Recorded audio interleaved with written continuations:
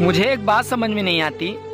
रिश्ता करने से पहले लड़की वाले पूछते हैं कि लड़का दारू तो नहीं पीता? और फिर शादी के बाद साला पूछता है हाँ? जीजा जी कौन सा ब्रांड लाऊं?